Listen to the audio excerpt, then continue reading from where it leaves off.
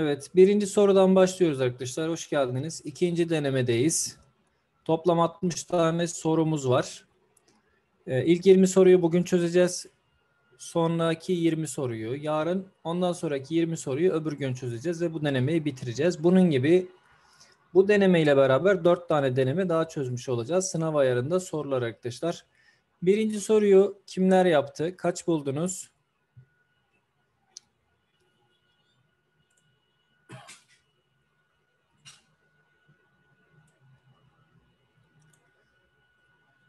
Evet, biri beraber yapalım arkadaşlar. Şimdi yukarıya baktığımızda 3 kere 1 3.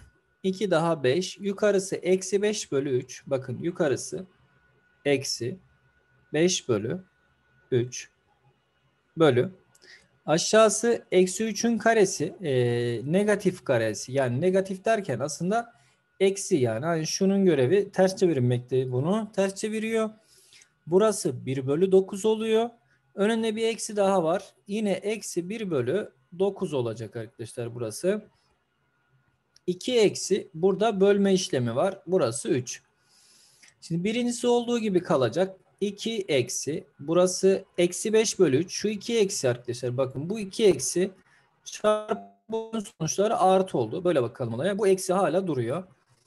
Şimdi şurası 5 bölü 3 çarpı 9 bölü 1 bölü 3'ten bahsediyoruz. Şimdi burası eksi 15.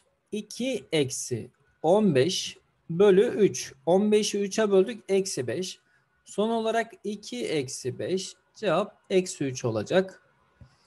Evet birinci soru böyle arkadaşlar. Normal klasik ÖSYM'nin sorduğu ilk sorulardan biri böyle olur. İkinci sorunun şekilli olma ihtimali göz önünde bulundurularak şekilli sorular dahil ediyoruz arkadaşlar bazen. İkinci soru şekil sorusu. Bunu ne yaptınız arkadaşlar? Yani siz ne işaretlediniz? Önemli olan o. Her iki tarafında 8 milimetre boşluk bulunan bulunan cetvelin üstüne sağdan hizalanacak şekilde 6,2 santim uzunluğundaki kurşun kalemlerden iki tanesi yan yana diziliyor. İkinci kalemin en uç tarafı cetvelin hangi noktasıyla aynı hizada olur demişiz arkadaşlar. Güzel, güzel bir soru var burada. Şekil olunca korkmayın sorudan. Bunun bir tane kalem daha koyacaksınız. Şöyle bir kalemiz daha olsun. Bu 6,2 ise ikinci kalem de 6,2 olacak. Yani şu ikisinin toplamı bakın bu ikisinin toplamı 12,4 olması lazım. Tamam. Şimdi normal şartlarda şurada ucunda 0,8 e, santimlik yani 8 milimetre dediğimiz şurada 0,8 santimlik bir boşluk var arkadaşlar. Dolayısıyla öncelikle 12,4'ten 0,8'i bizim çıkarmamız gerekiyor. Çıkardığınızda ne bulacaksınız? 11,6 bulmanız gerekiyor. Şimdi 11,6 yani şuradan itibaren bakın şu 20'nin olduğu yerden itibaren şuradan itibaren aldığınızda şuraya kadar 11,6 olacak. Biz buradan itibaren sayacağız. Bakın e, şurada küçük bir şeyimiz var. Şuradan itibaren sayacaksınız. Orada çünkü küçük bir boşluk var. O boşluğu dahil ederek saymıyorsunuz. O boşluk orada işe yaramaz. Şuradan tam böyle dipten alıyoruz. Yani dipten almamamız lazım. Boşluğumuz çok şey olunca şuradan itibaren alacağız arkadaşlar. E şuradan itibaren şuraya kadar bakın şu 20 santimlik bir cetvel. Dolayısıyla siz 20'den 20'den 11,6'yı çıkarmanız gerekiyor. Sonuç olarak 8,4 bulacaksınız. Cevap D olacak. Şimdi e, 20,8 yaparsanız yani şuradan itibaren alayım derseniz bizim için oranın önemi yok arkadaşlar. E, o da olur. Yani önemli olan bulmanız arkadaşlar. Bulduysanız 8,4'ü hiç sıkıntı değil. Şuradan itibaren alacaksınız. 8,4'ü buluyorsanız sorun yok arkadaşlar. Üçüncü soru. 9 üzeri 18 sayısının üçte biri nedir? Üçte biri nedir arkadaşlar?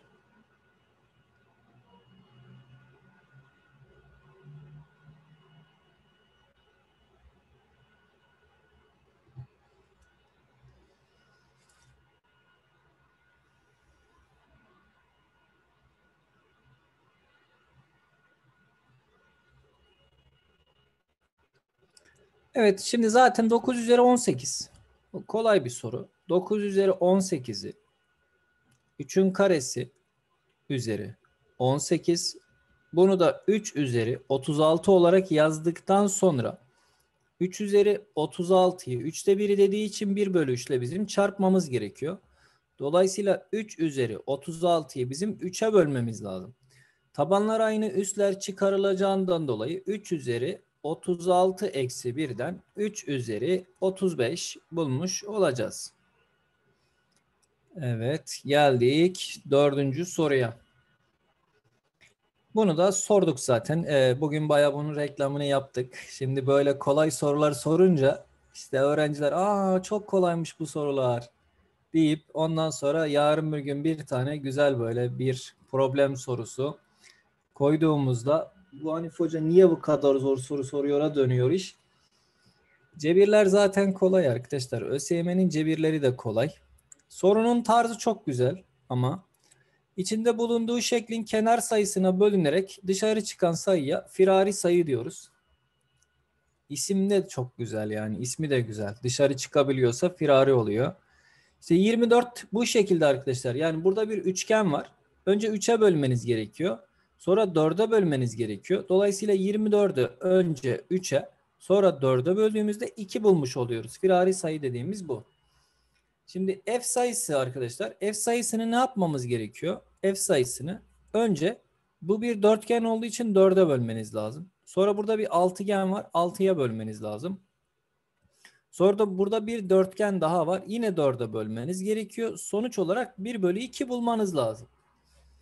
Bu işlemi yaptığınızda iki tane f sayısı 96 e, olacak. Dolayısıyla f'in buradan 48 olması gerekiyor. Hayal edebiliyorsanız yapabilirsiniz diyoruz arkadaşlar. Tamam. Hayal ettiğiniz kadar varsınız. Hayal ettiğiniz her şeyi yapabilirsiniz. Önemli olan hayal edebilmek. Kişinin eğer hayalinde DGS'de 50 net yapma gibi bir hayali yoksa bu kişi asla 50'yi yapamaz. Kişinin hayali 30 netse sınavda yapacağı 20, 25, 26, 27'dir. 30'u asla bulamaz. Hayal ettiğiniz kadar varsınız. Beşinci soruyu kimler çözebildi arkadaşlar?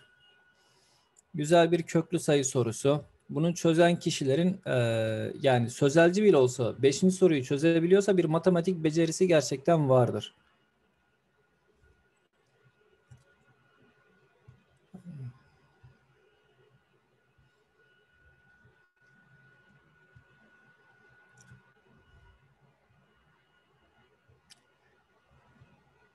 Çok güzel.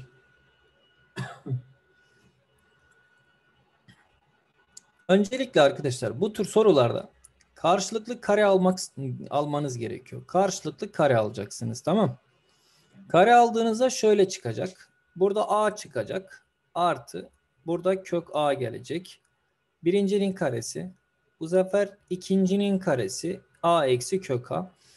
Birinci ile ikincinin çarpımının iki katı. Yani eksi iki kök içerisinde şu e, a artı kök a ile bakın şunları a eksi kök a'nın çarpımı iki kare farkı olacağından dolayı burası a kare eksi a olacak. Yani kök içerisinde a kare eksi a eşittir 16 oluyor. Tamam. Sonra sonra şunlar zaten birbirini götürecek. Ne kaldı? İki tane a'mız var. İki tane a'mız var. 2 parantez içerisinde a kare eksi a eşittir 16. İki parantezini alalım. İki parantezini aldığımızda burada 8 kalacak. Yani şöyle olur. a eksi kök içerisinde a kare eksi a eşittir 8 olacak. Şimdi buradan sonra e, şunu gönderin arkadaşlar. Bunu bu tarafa gönderin. 8'i de bu tarafa gönderin. Tamam Sonra bir daha karşılıklı kare almamız gerekiyor çünkü a eksi 8 eşittir kök a kare eksi a.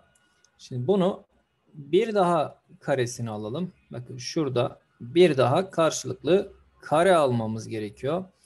Birincinin karesi a kare, ikincinin karesi artı 64. Birinci ile ikincinin çarpımının iki katı eksi 16. Karşı tarafta a kare eksi a var. Şimdi buradaki a kareler de birbirini götürüyor. 16a'yı bu tarafa attığımızda 15a. 15a eşittir 64. a eşittir 64 bölü 15 bulunur. Tamam. Bu böyle arkadaşlar. Sorunun çözümü bu. Altıncı soru. Yeni gelen arkadaşlar için ee, sonuçlarınızı linke girmediyseniz linke girin arkadaşlar. Geriye dönük deneme sonuçlarınızı bu yaptığımız ikinci denemenin sonuçlarını mutlaka linke giriyorsunuz.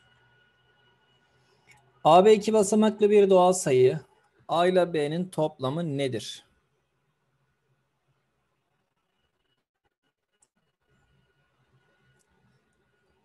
Evet. Neden 9 Gökhan?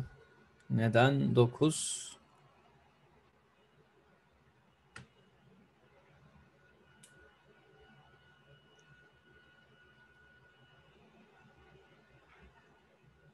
Tamam.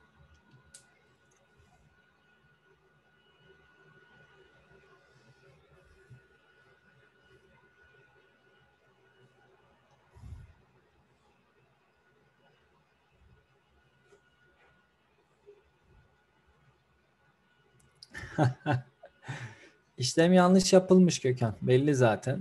Şimdi e, bunu söyleyebilmek için işlemin yanlış yapıldığını söylememiş diyorsun. Doğrudur. E, haklı olabilirsin belki ama şurada aslında bariz şunlar aynı alt alta gelecek şekilde doldurulduğu için burada işlemin yanlış yapıldığını kendinizin görmesi lazım.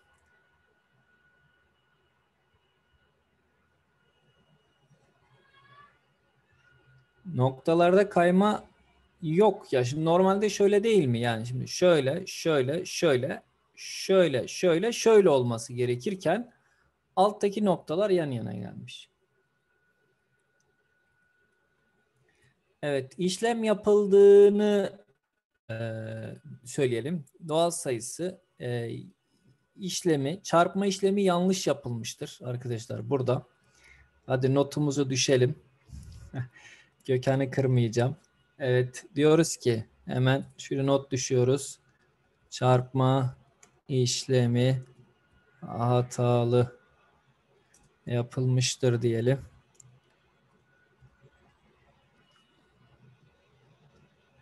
Oldu mu arkadaşlar? Tamam mısınız? Çarpma işlemi hatalı olursa kaç olur?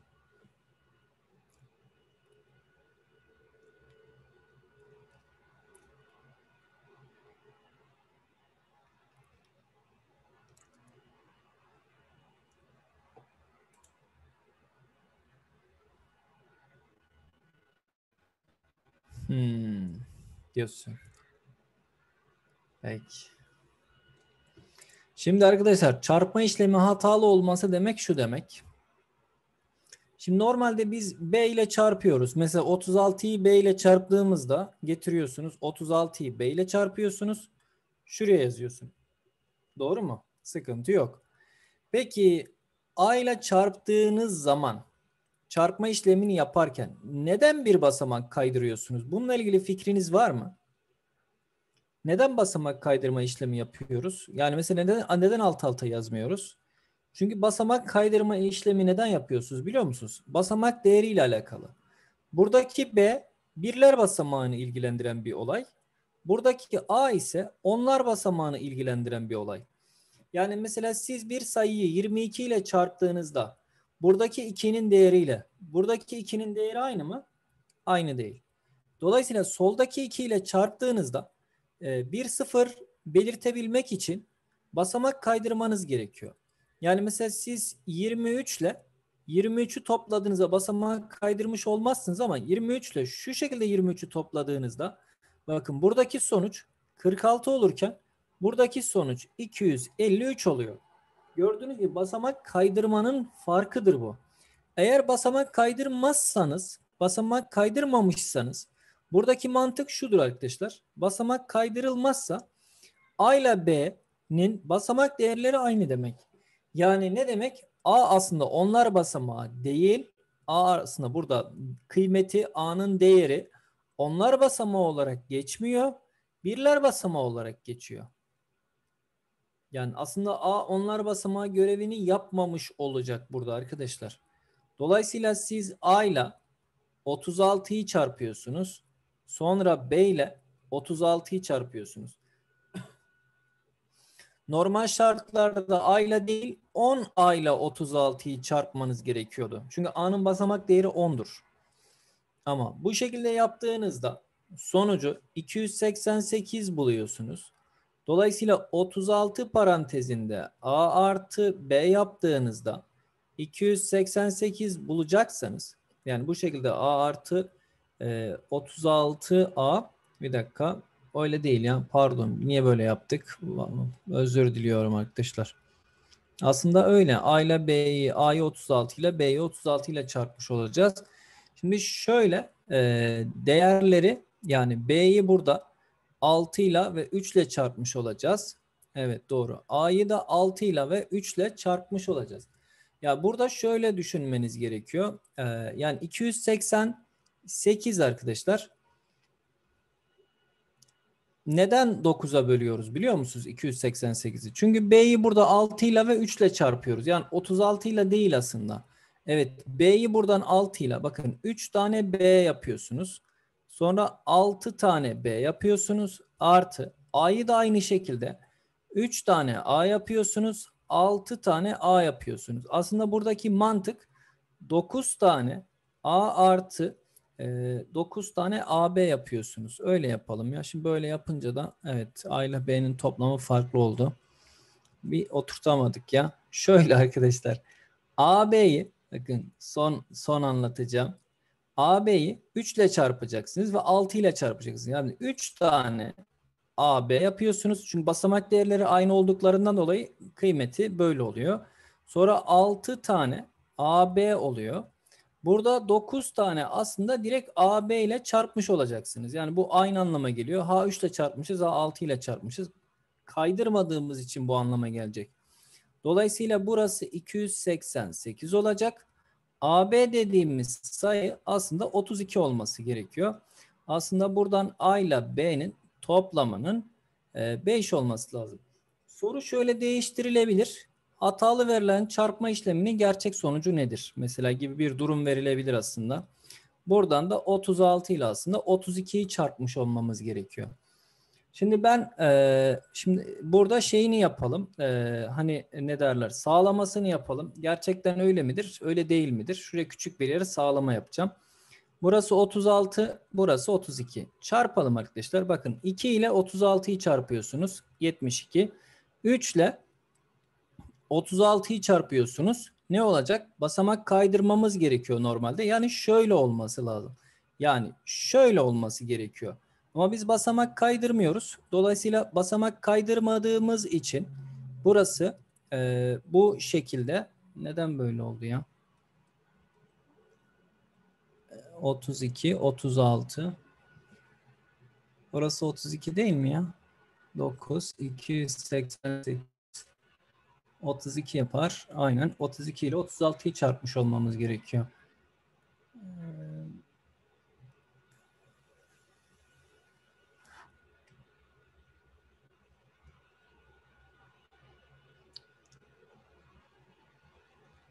Evet, burada e, bir hata acaba mı var diye düşünüyoruz. Basamak kaydırmadığı için mantığa dönüyor burada iş.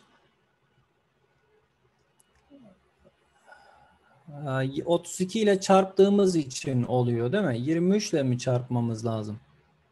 Doğru. Şimdi 32 değil de evet 23 olması lazım. Doğru. Yani her türlü ben şimdi A ile B 32 dedim. Aslında 23 e, yani burada A ile B'nin e, rakamlarının toplamıyla bir alakamız var. Orada rakamlarının toplamını nasıl yapsak? E, 36A, 36B. Şimdi e, 3 tane AB. Evet o zaman 23. Yani burada rakamların toplamı 5 olacak. Bunu başka türlü aslında izah etsek daha güzel olacak gibi geliyor ama başka türlü nasıl olabilir? Şöyle yapalım arkadaşlar. Bir dakika. Bir dakika. Başka türlü izah edeyim ben bunu. Şimdi ne yapacak? 6 ile B'yi çarpacak. Ee, sonra 30 ile B'yi çarpacak. Yani burada 36 tane e,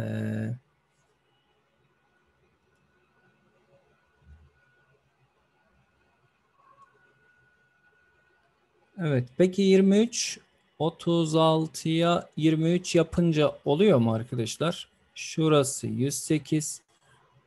Ee, kaydırma işlemi yapmıyor. Burası 72. Olmuyor. Olmuyor. Demek ki olsun da ee, şöyle A ile B'nin toplamı 8 olmasın mı ya? 8 olabilir mi A ile B'nin toplamı?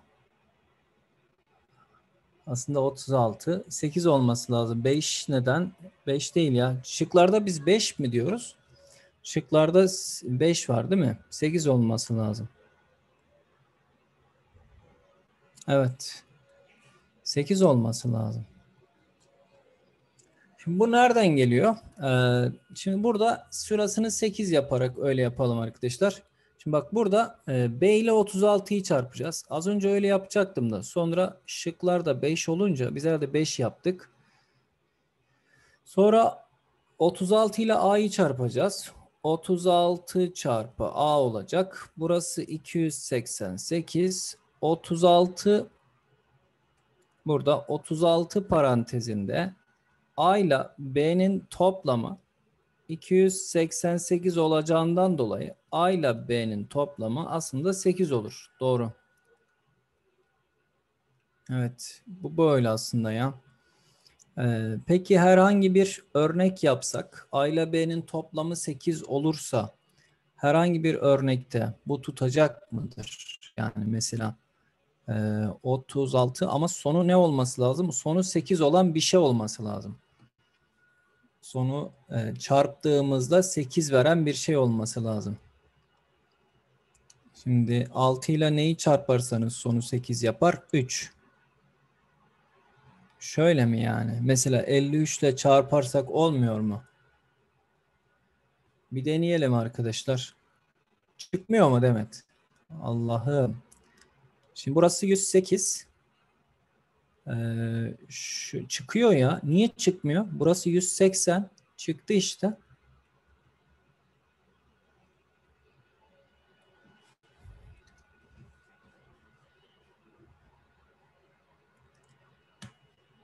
Elli üç oluyor arkadaşlar. Cevap sekiz. Evet. Kaydırarak yapmıyoruz ya aslında. Şimdi burada kaydırmadığımız için kaydırmadığımız için bu onlar basamağı görevini görmüyor artık. Ee, yanlış yapmışız Sümeyye. Yani kişi sonucu hatalı yapmış. Yani normalde kaydırması gerekiyor ama kaydırmamış, hatalı yapmış, 288 bulmuş. Dolayısıyla kaydırmadığı AB sayısının ne olduğunu soruyor. Ya ben de ÖSYM sorusu olsun istiyorum Gökhan da e, yani soru güzel, mantığı da çok güzel. Sadece şıklarımızda bir hata var. Cevap 8. Size artı bir net olarak dönmeyecek bu arkadaşlar.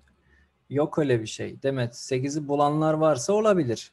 8'i bulmadıysanız size artı bir net olmaz. Aslında ben 8 hayal etmiştim dersiniz. evet Gökhan sen başta 8 mi demiştin? Sen öyle bir şey demiştin. Yok yok sorun yok. Gökhan sorun yok kardeşim. 8'i bulduysanız problem yok.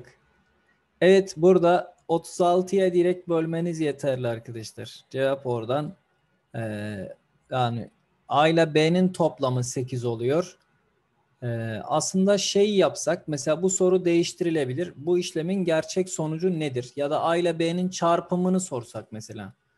Yani A ile B'nin toplamı direkt 8 diyor. Hani kolay bir çözüm oluyor. 288'lik bir kişi kazara 36'ya bölse 8'i buluyor. Öyle böyle basit çözüm istemiyorum. Bakacağım bu soruya. Sizin kafanız zaten yeterince karıştırdı bu soru. Evet yedinci soru arkadaşlar. ABC birer tam sayı. Hangisi kesin olarak çift sayıdır?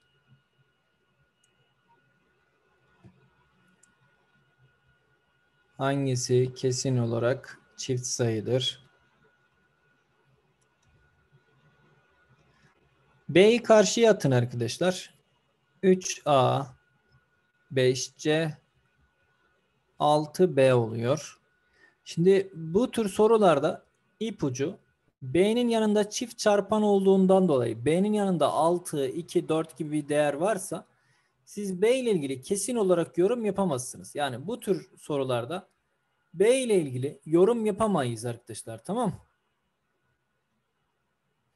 B ile ilgili yorum yapamadığımız için herhangi bir toplama işleminde de B'yi kullanamayız. Bölme işleminde bir ihtimal olabilir. Dursun çarpma işleminde de olabilir. Çünkü C'nin burada çift olma ihtimali var. A ile B'yi çok rahatlıkla eleyebilirsiniz. Şimdi ama buranın sonucu çift çünkü 6 ile çarpılıyor. 3A 5C buranın sonucu çift oluyor arkadaşlar. Çiftse o zaman A buradan ya tektir C buradan tektir ya da A çifttir C çifttir. Bunun başka açıklaması yok. A ile C'nin e, çarpımı çift olabilir ama kesin değil. Bu da kesin olmadığından dolayı eleniyor. C'nin çift olma durumu var ama bu da kesin değil. A'dan C'yi çıkarınca tekten teki çıkarırsak yine çift elde ederiz. Çiftten çifti çıkarırsak yine çift elde ederiz arkadaşlar. Ee, değer verilerek yapılabilir. Yani birkaç tane, bir, bir iki tane değer verirsin. Aynı sonuçları bulduysan başka değerler verip deneyebilirsin. Evet 8'deyiz. Hangisine tam bölünmez?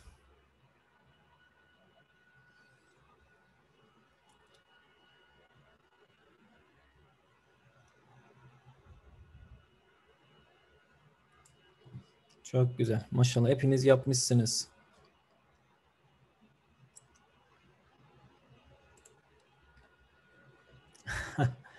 Güzel. Şimdi burayı 16 faktöriyel parantezini alacağız. Burada 1 var. Burada 17 var. Burada 17 çarpı 18 var. Şimdi burada 16 faktöriyel. 1 ile 17'yi topladık. 18. 17 çarpı 18. 18 parantezini alırsak şöyle olacak. 16 faktöriyel çarpı 18 çarpı 18. Yani sayımız bu aslında. Dolayısıyla sayı otomatik zaten 18'e ve 16'ya bölünür. 25'e bölünmesi için içinde 2 tane 5 olması lazım. 16 faktöriyel içinde 2 tane 5 bulabilirsiniz. 3 ve 11 bulabiliriz arkadaşlar. Dolayısıyla bu sayı 17'ye bölünmez. Geçiyoruz. Geçiyoruz. 9. Kimler yaptı 9'u? Hangisi her zaman doğrudur?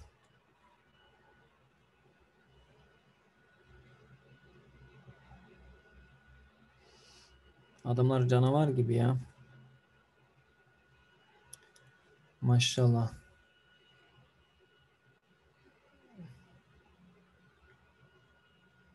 Görüyor musunuz arkadaşlar adamlar çatır çatır hepsini yapmışlar yani aynı e, şeyi, başarıyı problemlerde sayısal mantıkta da görmek isteriz arkadaşlar sizden. Sevdiniz mi problemleri? Baktınız mı bilmiyorum da. Yani bakanlar için. Demet problemlere bak Demet.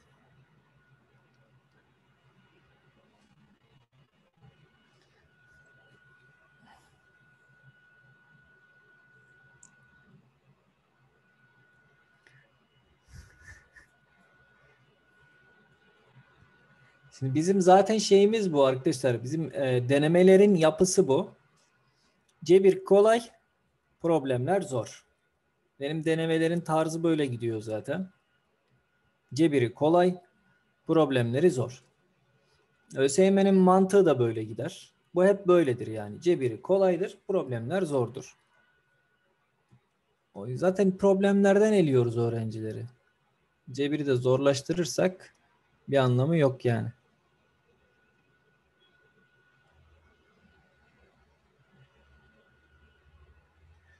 Zor. Cebirler aynı gelir Gökhan. Fark etmez.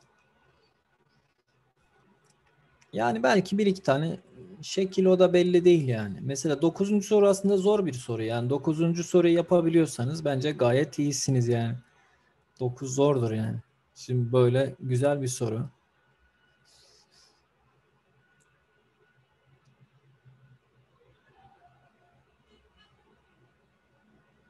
Şimdi burada ne yapabiliriz arkadaşlar? İfadeye şunu ekleyelim. Ee, x kare y kare olduğundan dolayı her iki tarafı karşılıklı eksi iki tane x'ye ekleyelim. Tamam. Eksi iki tane x'ye ekleyelim. Fark etmez. Artı iki tane de ekleseniz olur aslında. Fark eden bir şey. Artı ekleseniz şıklarda bulamayabilirsiniz. Eksi ekleyelim. Şimdi şöyle olacak burası. x eksi y'nin karesi olur. Bakın. Şimdi siz buraya eksi 2x'ye eklediğinizde x kare eksi 2x'ye artı y kare olduğu için bu x eksi y'nin neyidir? Karesidir. Eşittir. Eksi 2 tane z eksi 2 tane x'ye. Böyle oldu. E bir ifadenin karesi 0 ya da 0'dan büyüktür. Dolayısıyla burası 0 ya da 0'dan büyük. Dolayısıyla burası 0 ya da 0'dan büyük olacak. Yani eksi 2 tane z eksi 2 tane x'ye 0 ya da 0'dan büyük olacak. İkileri yok edelim. Ne olacak?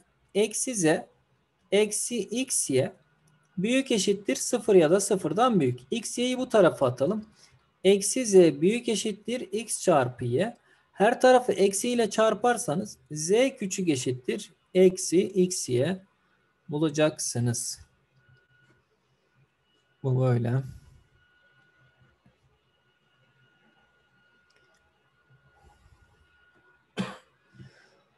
10. soru arkadaşlar. X tane x'in toplamı y tane y'nin çarpımı.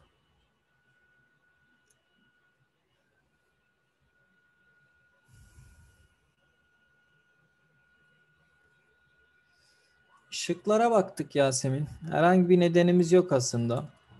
Elimizde x kare ve y kare varsa 2x'ye eklemek gerektiği az çok aklımıza geliyor gibi. Şıklara bakınca sanki bize öyle bir şey anımsatıyor şıklar.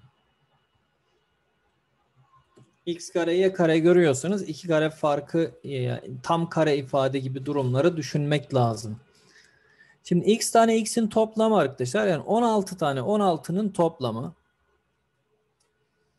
Valla e, 9 zor be Sümeyye. Yani şimdi onu Hani neden 2x'ye ekleyeceğiz çıkaracağız kısmı.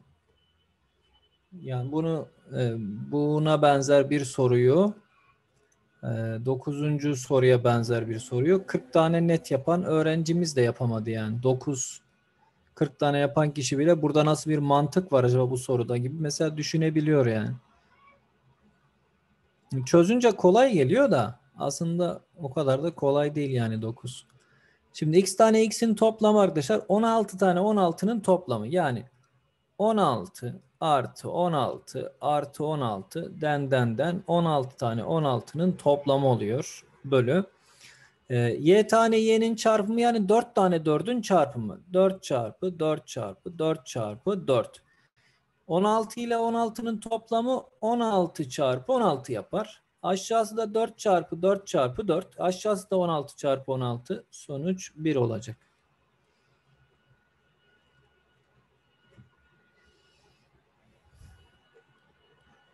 Evet en zor sorulardan biri. 11'i kimler yaptı arkadaşlar? İşleminin en sade hali nedir? Ya buraya kadar kolay yeter ya.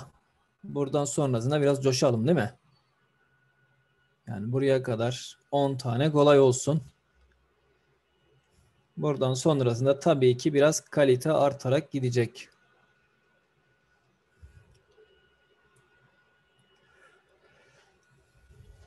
Rukiye nasıl yaptın 11'i? Bize anlatmak ister misin?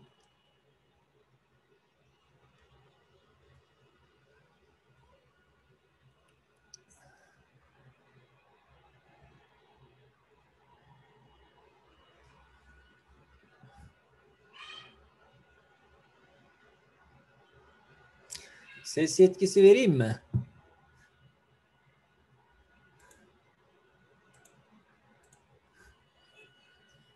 Tamam. Hemen veriyorum. Ses yetkin de var. Bir konuş bakalım sesin gelecek mi? Merhaba hocam, sesim geliyor mu? E, biraz geliyor evet. Şimdi nasıl? Yani daha iyi gibi. Bir anlat bakalım. Ee, bize 11'i bir öğret nasıl yaptın? Estağfurullah hocam olur mu öyle? Ee, ben şöyle yaptım hani e, eşlenik falan yaptığımda vesaire çıkmadı. Direkt A dedim mesela A'ya eşitledim. Ondan sonra karesini aldım. Zaten üstteki e, direkt gidiyor onun karesini alınca. 3 eksi kök 6 oluyor. Alttaki de e, 4'ün karesi gibi bir şey oluyor. Yani 2 kalıyor geriye. E, yani 5 eksi 2 kök 6'nın karesi oluyor. Ondan sonra da açılımları falan yaptım. Oradan çıktı. Ha, Allah Bilmiyorum anlatabildim mi ama bu şekilde yaptım. Kendine göre bir- şeyler yapmışsın. Güzel. O da Ya olur. ben diğer Bulduysan sorun şey yok. C- yani C'yi hani o- buldun mu? Tabii tabii hocam zaten sonunda şey oluyor. A üzeri 4 eşittir 3 oluyor. E, A da zaten kök içerisinde 3'ün dördüncü kuvveti falan oluyor. Anladım. Yani ben öyle yaptım. Peki. Teşekkürler. Bak şimdi ben nasıl yapacağım. İyi izle. Rica ederim.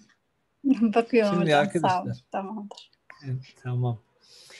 Şimdi bu onu nasıl yaparız? Biliyor musunuz? Buranın kök derecesi 2. Buranın kök derecesi 4. Tamam. Şimdi bu tür işlemleri yapabilmek için kök derecelerini aynı yapmanız gerekiyor. Anladınız? Dolayısıyla şurayı yukarıyı kök derecesini 4 yapmak istiyorum. Yukarının kök derecesini 4 yaptığınız zaman içeridekinin de karesini almanız lazım. Yani 3 eksi kök 6'nın karesini almanız gerekiyor. Aşağı zaten kök derecesi 4. 5 eksi 2 tane kök 6 böyle olur. Şimdi eee, burada yukarıda kök dereceleri aynı olduğu için aynı işlemleri aynı kök içerisinde yazmak istiyorum. Yani burası 4 olsun. Şimdi iki parça. Yukarısı birincinin karesi, 3'ün karesi 3. 6'nın karesi 6. Birinci ile ikincinin çarpımının iki katı eksi 6 kök 6. Tamam. Şimdi geldik. 3'ün karesi 9 ya. Niye 3 yaptık şuraya? Şurası 9 olacak. 3'ün karesi 9 çünkü. Ve aşağısı 5 eksi 2 tane kök 6. Şimdi yukarısı kök derecesi hala 4. 9 ile 6'yı topladık. 15. 15 eksi 6 kök 6. Aşağısı 5 eksi 2 kök 6. Yukarısı aşağının kaç katı? 3 katı. O zaman böldüğümüzde 3 gelecek.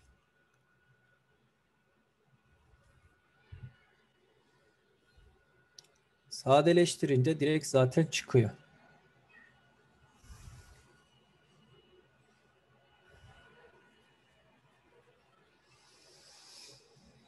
Evet bu da böyle. 12. soru. Sıfırdan farklı A ve B gerçel sayılar için A mutlak değer B, B mutlak değer A eşitliği sağlanıyormuş. Hangileri her zaman doğrudur? Öğrencilerin sevmediği basit eşitsizlik soruları. Öğrenciler bunlarda çok zorlanıyor. Evet. Bunlarla ilgili yeteri kadar soru çözmek lazım.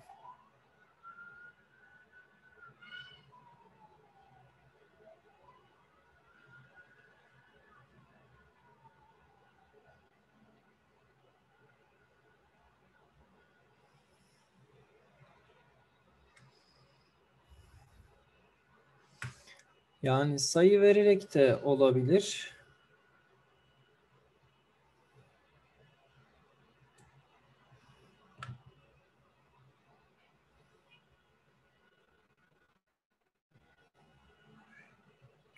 Şöyle yapalım.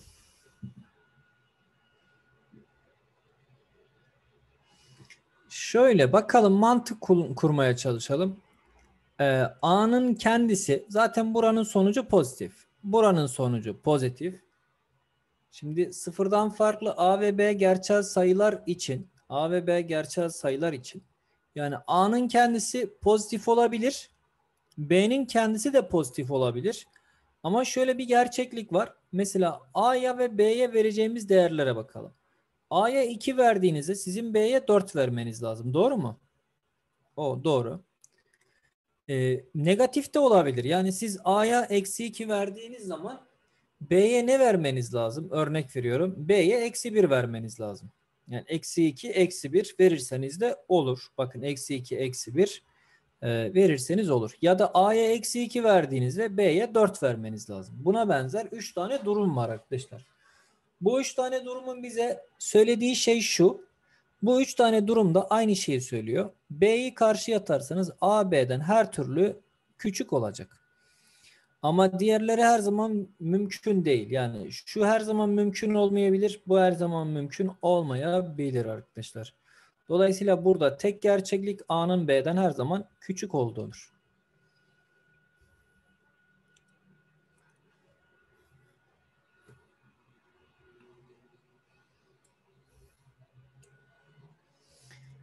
Evet 13. Dedik ya buraya kadar kolaylık yeter dedik. 10 tane kolay. DGS'nin mantığı da böyle gidiyor zaten. E, buradan sonrasında tabii biraz e, işler çetrefilleşecektir. İlla ki sizi zorlayacak olan şeyler olacak. Yeteri kadar oksijen olmaması kan basıncının azalmasına hipoksemi diyoruz. Evet kampta sorduğumuz bazı sorular burada var. Olması lazım. İnsanlık hali o kadar olacak. İnsan kanında oksijen seviyesi 96 ile 100 arasında olursa bu normal kabul ediliyor. Hadi size fazladan bir net verdim ha. %96'daki oksijen seviyesi düşük olarak kabul ediliyor arkadaşlar. Hipoksemiye neden olur. İnsan vücudunda olması gereken oksijen seviyesi hangi eşitsizlikte doğru verilmiştir? Yani olması gereken arkadaşlar 96 ile 100 arasında olması gerekiyor. Kabul edilen seviye bu. Dolayısıyla şimdi bu tür şeylerde eşitsizliği dışarı çıkarırsak bunu eksilisine atacaksınız. Eksi 97 x eksi 3 artı 97. Ya burada e, 96 ile 100 arasında bir eşitlik bir durum elde edemeyiz. Bizim elde edeceğimiz kısım burası. bu olmaz. Yani şuradan anlıyoruz ki 97'ler dışarıda olmayacak arkadaşlar. 5 olur mu? Bakalım. Eksi 5 küçük eşittir. X eksi 95 o da küçük eşittir 5. Her tarafa artı, artı 95 eklerseniz burası ne olur? 90 küçüktür x o da küçüktür 100 olur. Yani burası bize 90 ile 100 arasını veriyor. Bu da bizim istediğimiz değil aslında. Ee, bu da ne olacak? 5'in bu tarafa attık. Eksi 5 küçüktür. X eksi 100 o da küçüktür. 5 olacak. Her tarafa 100 eklediğimizde 95 küçüktür. X o da küçüktür. Ee, 105 oluyor arkadaşlar. Tamam. Şimdi bu da olmuyor. Bizim istediğimiz durum D şıkkı arkadaşlar. Tamam Bakın şurası. X eksi 98 küçük eşittir 2. Bunu ne yapıyoruz? Eşitsizliği dışarı çıkarmak için bunun eksilisini bu tarafa atacaksınız. Eksi 2 küçük eşittir. X eksi 98 o da küçük eşittir. 2 olacak. E her tarafa eksi her tarafa 98 ekleyelim. Bakın buraya artı 98. Buraya artı 98. Buraya artı 98 eklediğimizde ne olacak? 96 küçük eşittir x o da küçük eşittir 100. 96 ile 100 arasını oldu mu? Oldu. O zaman cevap D şık. Tamam.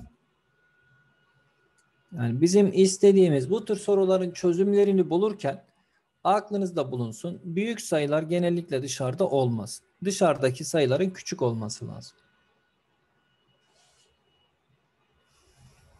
Evet, bizim istediğimiz 96 ile 100 arasında bir değer elde etmek. Dolayısıyla eşitsizliği açtığımızda 96 ile 100 arasını hangisi veriyorsa onu alacağız.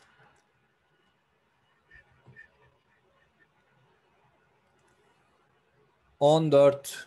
On dördü yapan var mı arkadaşlar? X artı kök X dörtmüş.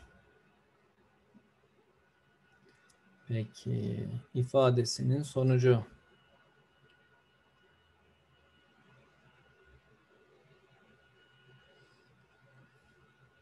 Yok mu yapan? Demet aslında çözümü kolay biliyor musun? Rukiye sen şimdi yine bildiğin gibi yapmışsın da biz anlamıyoruz ki senin çözümünü. Leveli atladın sen.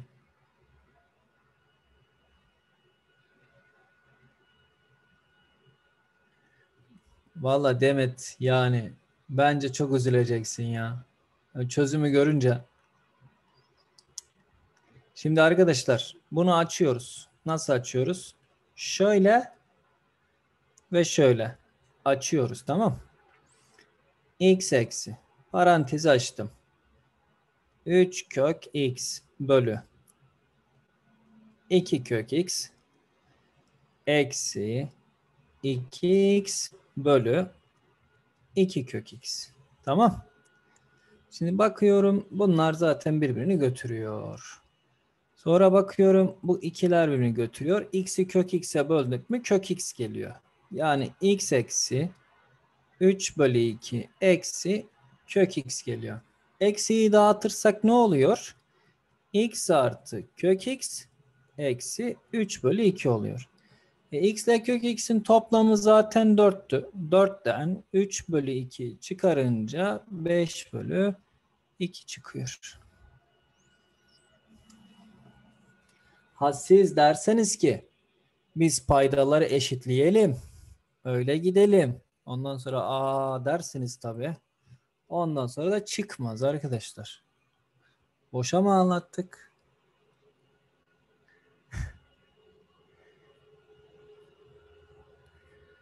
Valla gitti bir soru. Tüh ya.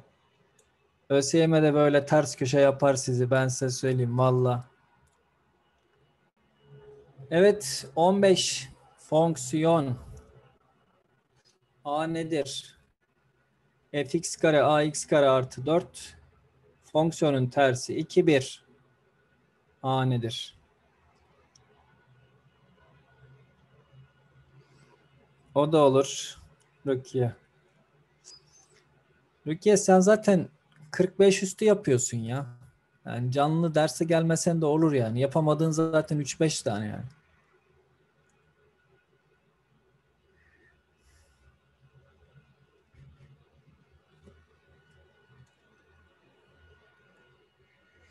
Çözelim arkadaşlar.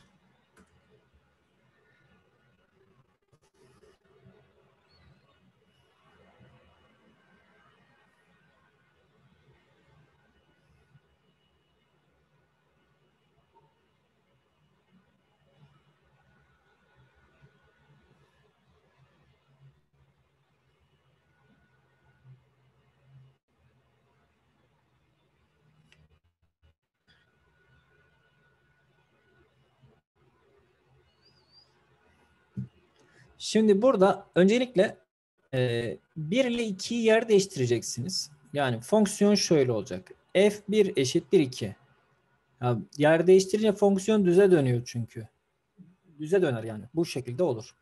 Sonra diyoruz ki şu 1'i getirip buraya koymuyorsunuz ha. Burayı 1'e eşitliyorsunuz. Yani 2 tane x kare eksi 3 eşittir 1 olsun. Buradan 2 tane x kare eşittir 4 olsun. x kare gördüğümüz yere 2 yazalım. Karşıda x kare gördüğünüz yere 2 yazacaksınız. 2 yazacaksınız. Bu sonucu da buraya eşitleyeceksiniz. Tamam Bakın bunu böyle yapacaksınız. Dolayısıyla e, ax kare artı 4 eşittir 2 olacak. x kare gördüğümüz yere de 2 yazalım. 2 tane a artı 4 eşittir 2. 2 tane a eksi 2 a eşittir eksi 1. Siz siz olun. şunu olduğu gibi getirip içine yazmayın arkadaşlar. Önce eşitliyorsunuz. Eşitlemeden işlem yapılmaz. Evet 16 küme sorusu kimler yaptı?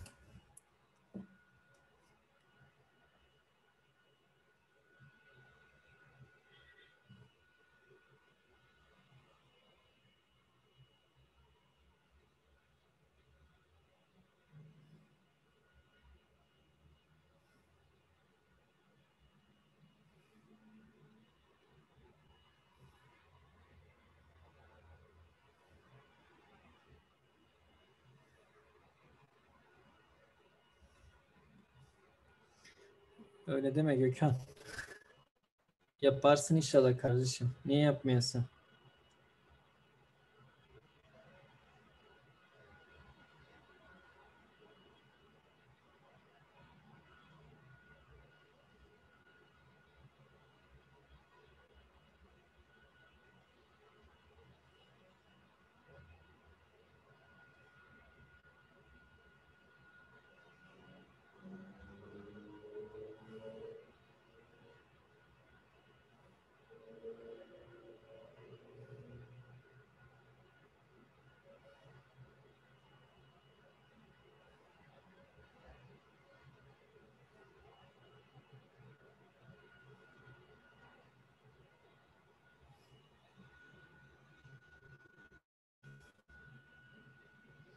Soruya mı?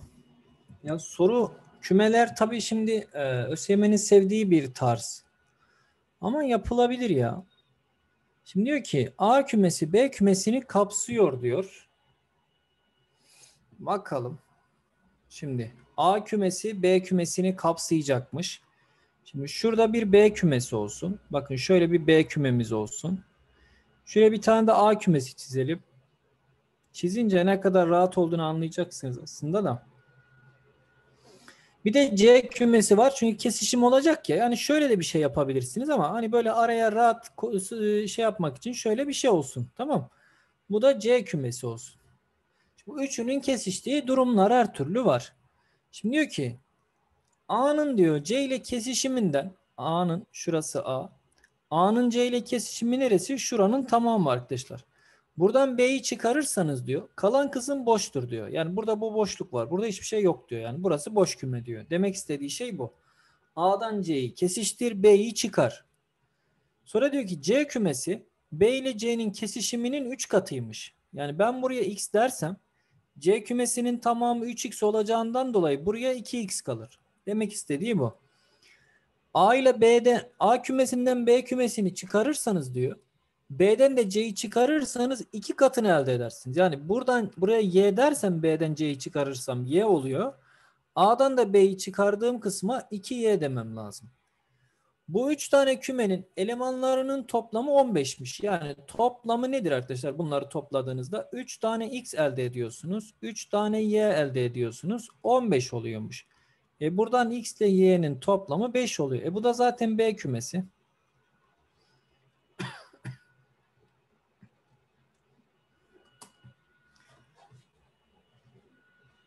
Kümeleri doğru çizmek, kümeyi doğru çizmek arkadaşlar. Bunu yaptığınızda aslında çözmüş oluyorsunuz soruyu.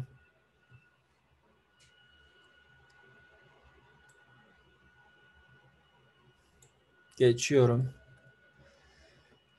Bir işlem. X işlem Y. X kare eksi Y eksi Y işlem X. A işlem 2 Y'ymiş eşitliğini sağlayan A değerlerinin çarpımı nedir? Oo, zor soru. Vallahi yapana tebrikler. Yapanı tebrik etmek lazım. Evet arkadaşlar bakın şimdi şöyle aşağıda görüyorsunuz. Şimdi yukarıya geliyorsunuz. Şimdi denemeyi elinize aldınız. Geldiniz şöyle yukarıda. İşte Hanifi Hoca denemeyi çıkardığında gelecek sene işte öğrenci denemeyi eline alacak. Aa bir çok kolay. Aa üç de çok kolaymış ya. Beş de yapılır. Bu deneme çok kolaymış dersiniz değil mi? Sonra geliyorsunuz. Ondan sonra elinize alıyorsunuz. Şöyle 10, 11, 12, 13, 14, 15, 16.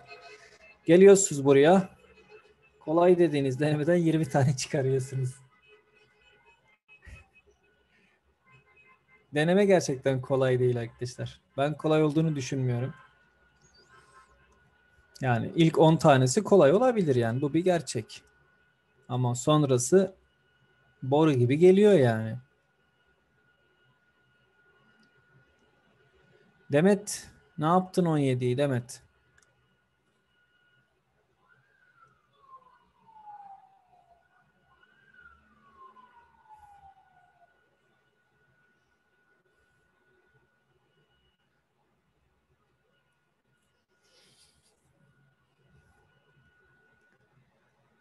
Demet 17'yi ne yaptın Demet?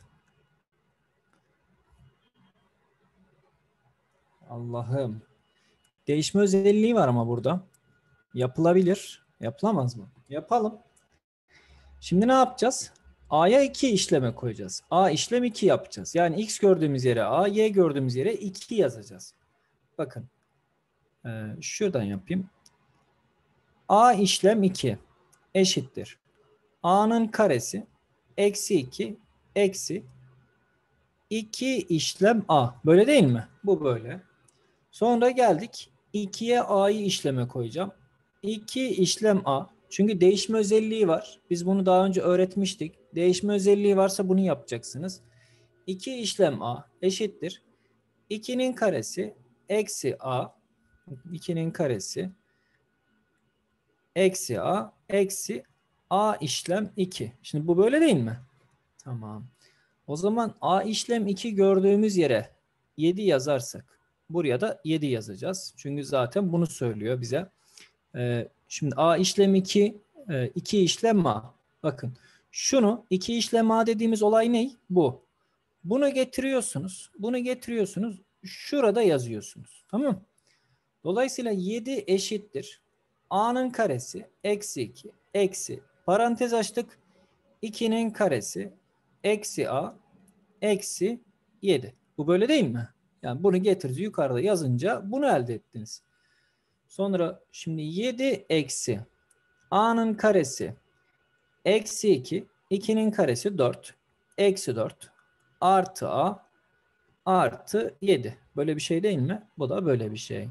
Dolayısıyla şunlar da birbirini götürdü.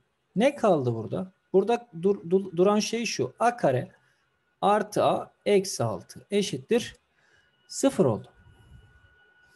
Buradan sonrası ikinci dereceden denklemleri biliyorsanız e, bu ifadeyi sağlayan A değerlerinin çarpımı direkt şudur cevap.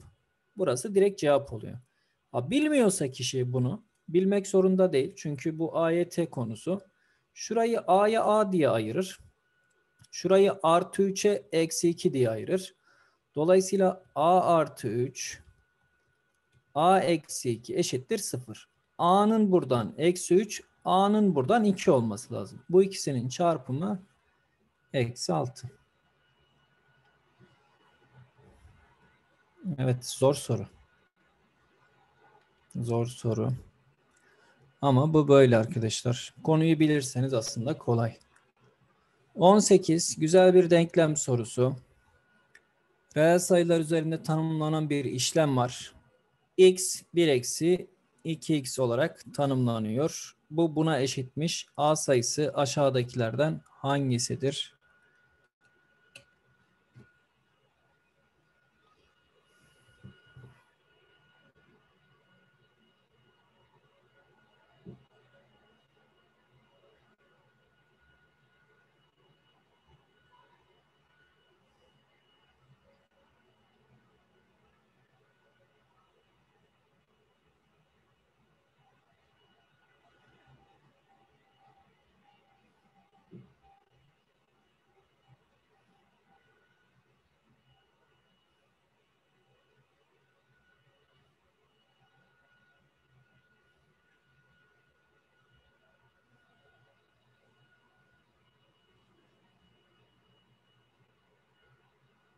Evet. Başka yapan yok mu arkadaşlar 18'i?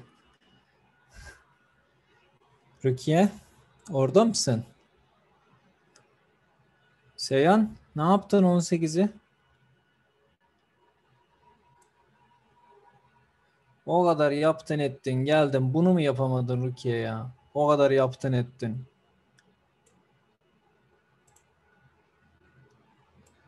Şimdi arkadaşlar diyor ki bak bu birinci A'yı çıkarırsak içeride şöyle bir şey kalır.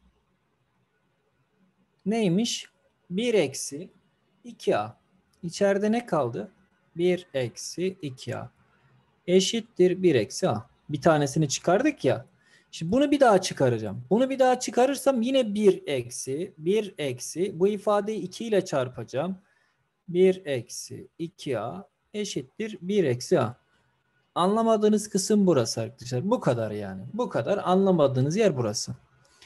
1 eksi 2, 2 kere 2 4 artı 4A eşittir 1 eksi A. Bunu bu tarafa attık. Buradaki birler birbirini götürdü. 5A eşittir 2. A eşittir 2 bölü 5 0,4. Evet. Tekrar A yapmak isteyen varsa yapabilir. Bir şey diyemem şimdi. Yorum yok. Bu kadar arkadaşlar. Yani içerideki ifadeyi ne yapacaksınız? Böyle çıkaracaksınız dışarı. Bir koyacaksınız iki katını alacaksınız dışarı çıkaracaksınız. Bir koyacaksınız iki katını alacaksınız dışarı çıkaracaksınız.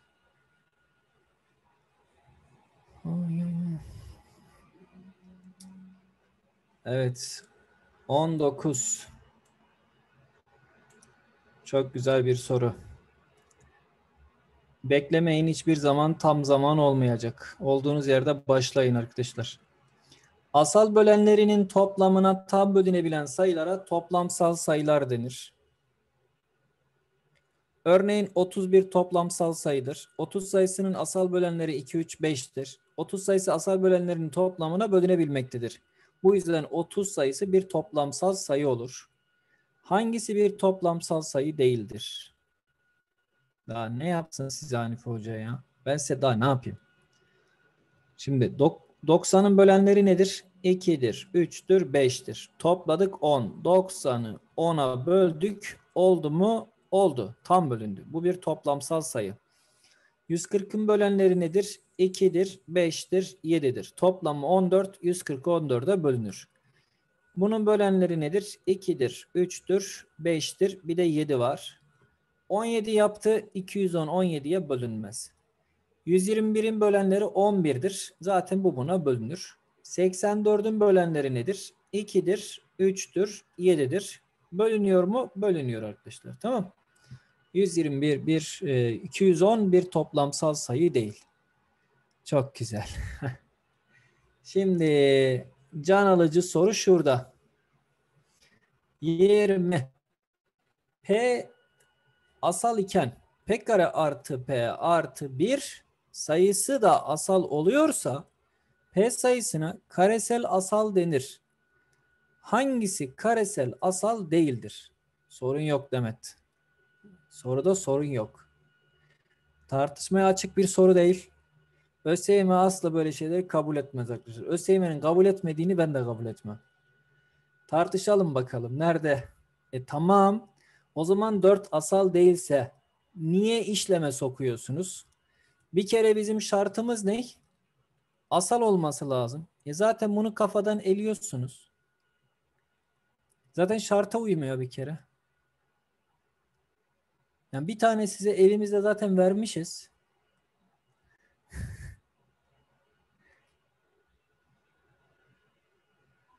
e cevap E zaten. ya bir kere şart sayının kendisinin asal olması. E sayı zaten asal değil yani. Zaten siz bunu alamazsınız yani. 2 asal. Karesi toplamı 7. Bu olur. Bu da olur. 5, 25, 30, 31 olur. 7'ye geldik 49, 50, 57. 57 asal değil. Bu olmasın. O yüzden tartışmaya açık değiliz. Bu tür sorularda aklınızda bulunsun arkadaşlar. ÖSYM de böyle yapıyor. Tamam. Bilginiz olsun. Şartlara uymayan verir. Siz onun cevabı olarak zannedebilirsiniz. Ama öyle bir şey değil. ÖSYM de öyle yapıyor yani.